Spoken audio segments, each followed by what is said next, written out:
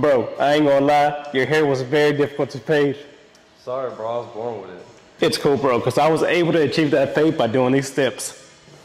First thing is to examine the head shape. And right now I can tell that the back is pretty flat and it's kind of disconnected from the top. So the objective is to build up some more weight within this area, which is why I'm gonna go ahead and debulk with the number two. Digging in at the bottom, but as I get to, digging in at the bottom, but as I get past the occipital bone, I'm gonna start tilting my clipper outwards. And that's really helping me keep that weight near this area. And it's also helping me blend into the top already. And this is one of the things that's really gonna help you fade, because if you can go ahead and knock out this part at the beginning, then you're not really gonna have to worry about coming back and fading into the top anymore. So now I switch from the number two into the number three guard, and that's just to really finish blending into the top. Now whenever it comes to this type of haircuts and this hair texture, don't be intimidated. It's the same thing as any other haircut. You're just gonna keep on going with your clipper lever closed and going right off the head with it. With this area faded in already, I can go ahead and create my first initial guideline.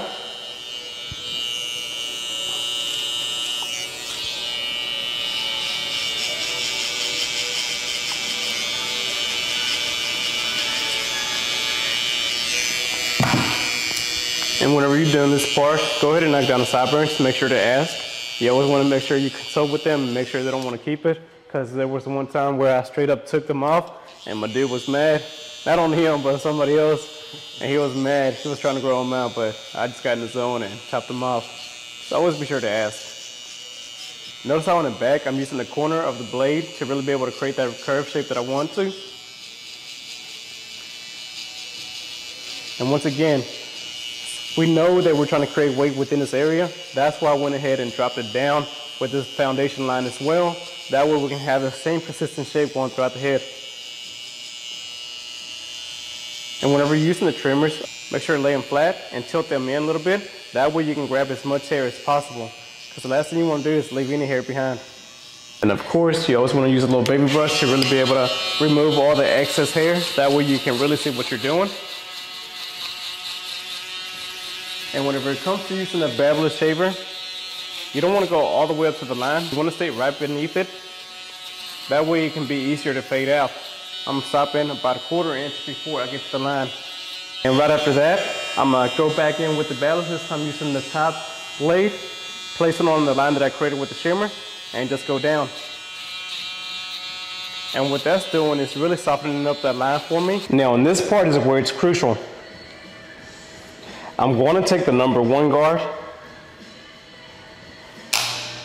and I'm going to make and I'm going to make a pretty wide guideline. And the reason why I made this guideline so wide and went about halfway up his head is because that's going to be my initial stopping point. So now I have point A, point B, and point C. Meaning, all I have to do now is fade out this bottom section. And after this bottom section is faded out, I just gotta fade out this top section. So now with the lever post, I'm gonna begin right at the bottom, only using the corner of the blade to start erasing that line. Initially, that's not gonna take it out all the way. That's where we're gonna open the lever by a quarter inch and go a quarter inch above that first initial line again. And I'm gonna keep on repeating the same process, going up about a quarter inch at a time until my lever is all the way completely open. And that really helped create some gradiency within that section. And of course, if you still have a little distinct line at the bottom, go in with your trimmer and just point cut into it. Notice how I only worked in this small section first. And that's how I'm gonna be working throughout the whole side of the head. Working in small sections, that way I can really control where I wanna place the fade at. And now behind the ear, I'm simply gonna get that out the way using my pinky. That way my hand's not in the way either. Using my pinky, get out the way and I'm going to begin doing the same process all over again. Working all the way to the back, but working it within the section. This time, I'm going to use the fading down technique. So I'm starting with my lever all the way open now and close it a quarter inch at a time. And the more that I close it, I'm not going to be going up as high within that section anymore. And that way, whenever the blade is fully closed, I should be at the very bottom of that section now. Either way is good. It just depends on preference, what you prefer. I use this technique sometimes whenever I'm just in the zone and instead of having to start at the bottom work up, I just feel like it's easier to just go ahead and start with the lever open and start working down. Like I said, it's all preference. So now with this bottom half completely faded out, now with this bottom section faded out, and we know that we used the number two to fade into the top on this top section, I'm going to begin erasing that line right in between using the one and a half guard. The lever is going to be about halfway closed. And I'm only going to be using the first three teeth of the guard to really be able to dig in between each individual hair and start fading it out. One of the main things you always got to keep in mind on this as well, you always want to brush the hair back down into the natural position because whenever you go in with the clippers, what the clippers are doing is just pushing the hair out the way and most of the time it pushes it up to where the blade doesn't end up cutting anymore. So right here you can tell that the hair's been pushed but it's not being cut. So it's very important to always keep a comb in your hand. That way you can comb the hair back down into its natural position and make sure you're cutting every single little bit of it. Of course, that one and a half guard didn't completely take it out. That's why I'm going in with the number one now. Using the same technique. And once again, this is not going to completely take it out.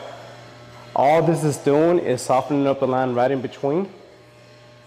Really prepping it that way, whenever we get down to the half guard, that'll completely take it out this time. And the reason why I knew that the half guard was going to be able to take it out was because whenever I faded out this bottom section, I was using a no guard with the lever all the way open, which is equivalent to a half guard. That's why it's very important to really understand what each measurement guard is going to do. And I'm just going to continue using the same method all throughout the back as well. Whenever you have a proper system in place, your execution is going to be a lot easier because you already know what each step is going to be doing and what you're going to be doing next. If, you go into a haircut blindly, not knowing what to do on the steps, then of course it's going to take you a lot longer and it's going to be a lot tougher for you to be able to execute. That's why it's very important to have a good system in place and know exactly what you're going to be doing before you actually even start doing a haircut. All right, so at the beginning, whenever I'm doing the top, I'm not going to pick it out literally, I'm just gonna go ahead and chop a lot of the excess hair down. And just kind of like whenever you're debulking at the beginning of a haircut. That's all we're doing right now. Just go ahead and get rid of all the hair. And afterwards, once you get majority of the bulk down, I'm gonna go back in with the pick, pick it out, and I already did one side of this head.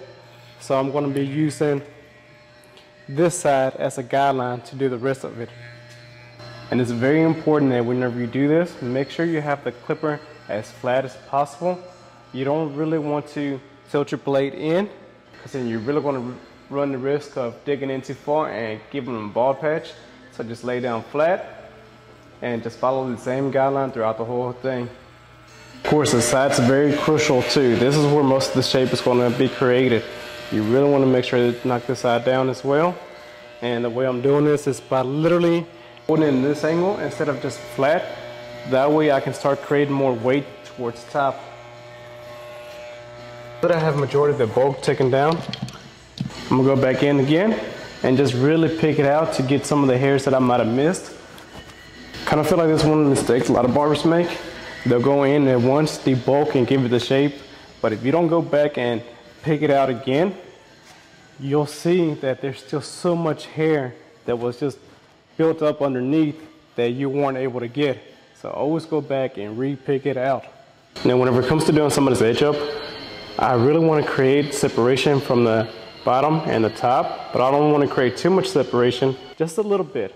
And the main reason I want to do that is to really ensure that I'm not pulling hair from up here and coming down.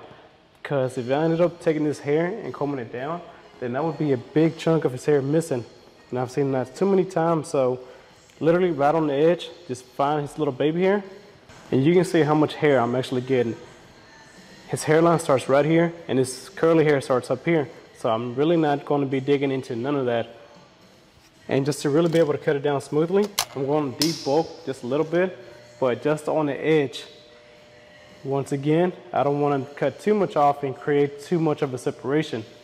So just being right at the edge, smoothing out the little hairs and starting in the middle I'm just gonna work my way to one side first, placing half the blade on the line that I already created and half the blade on the new line that I want to create and just tapping in and sliding this way. And that's really gonna help me reset and go back with the rhythm to create a straight line.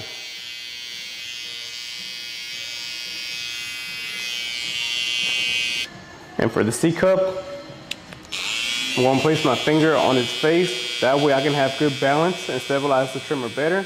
And I'm gonna make my first line at the top. And then make my second line at the bottom. And those two are gonna be my reference points. So with this line in and this line done, all I have to do now is connect the dots. And I'm gonna do that by using the corner of my blade to really be able to create that curved shape that I'm looking for. And just like that, we got a nice C cup. Now with the edge up in place, now we can start to really see all the little imperfections all throughout the head. And we're just gonna detail just a little bit to really make it as smooth as possible and should be done. And by following those steps, that's how you're gonna be able to execute this difficult fade that he was born with. Let's see what we got, man. Here you go. Man, I've this. To cut it this short. For real. Got a little too long, huh?